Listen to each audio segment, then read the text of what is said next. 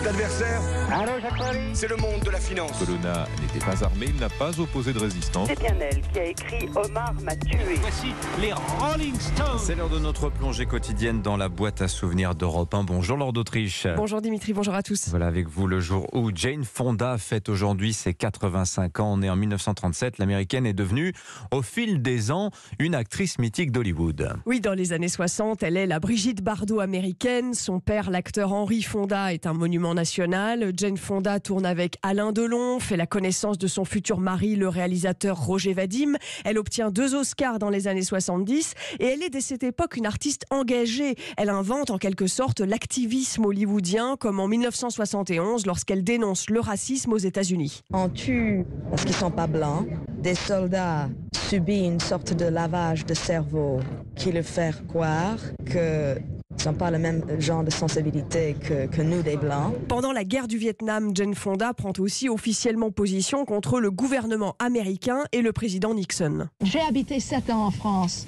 et c'est parce que le, le Vietnam m'a forcé de me poser certaines questions que je suis retournée aux États-Unis. Parce que je voulais lutter là, au sein de mon propre pays. J'aime beaucoup l'Amérique et je pleure. Jane Fonda a l'activisme dans le sang et jusqu'à aujourd'hui, elle s'est engagée pour des causes. Oui, en particulier ces dernières années, elle est devenue une porte-voix de la lutte contre le changement climatique. Oui, en 2019, elle manifeste tous les vendredis devant le Congrès américain et elle témoigne sur Europe 1 cette année-là au micro de Mathieu Béliard. Il a fallu que je participe à quatre actions de désobéissance civile avant de passer une seule nuit en prison. On n'a plus de temps à perdre. Il faut maintenant diviser par deux notre consommation d'énergie fossile en une décennie.